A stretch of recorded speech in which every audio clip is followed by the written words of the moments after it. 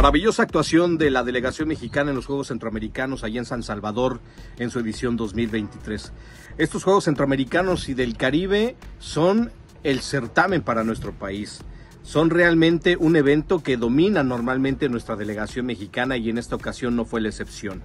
La delegación mexicana, como le compartí en su momento, no debía de tener ningún problema para llevarse estos juegos con mucha autoridad, con mucha personalidad y presumir oros por montones.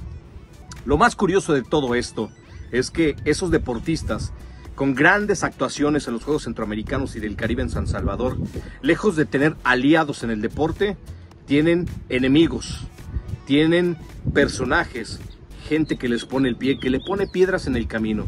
Si usted supiera la historia que hay detrás de cada uno de los deportistas, casi de cada uno de los deportistas que estuvieron en San Salvador y que aspiran, por supuesto, a unos panamericanos e incluso a unos Juegos Olímpicos, las historias son macabras, las historias son de falta de apoyo, las historias son de falta de respaldo del federativo hacia con el atleta. Es realmente impresionante la manera en cómo el deportista se puede olvidar de todos esos conflictos, de todos esos problemas y simplemente mirar al frente, enfocarse y con muy poco ganar mucho. De eso escribo en mi última colaboración en Vértigo Político.